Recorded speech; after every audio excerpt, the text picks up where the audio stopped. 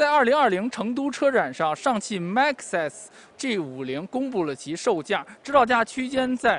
九点一八到十五点八一一万元之间，共有六款车型供您选择。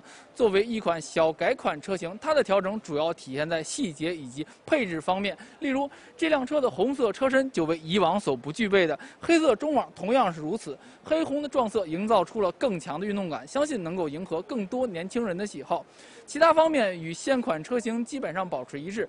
侧身线条流畅顺滑，该车装配了规格为二幺五五十五 R 幺七的马牌轮胎，匹配双色铝合金轮圈，后排车窗均为隐私玻璃，与 C 柱、D 柱有着良好的一致性，使其悬浮式车顶更加明显。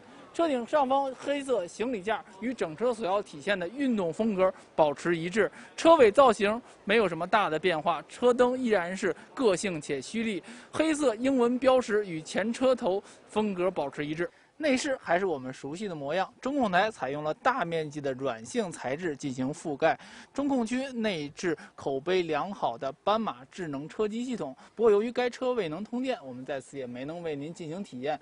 新车对于车内的升级主要体现在配置方面，例如它增加了前后一体式的侧气帘，并对空调过滤系统进行了升级。此外，Isofix 安全座椅接口有两个，升级到了三个。对于二孩家庭来说，我认为是很实用的。试想一个场景，我们一般会把一个孩子安排到第二排，那旁边通常会安排一个大人去照顾他。那第二个孩子呢，一般只只能安排在第三排了。该车对于这样的场景就进行了充分的考量，增加了第三排的儿童安全座椅接口。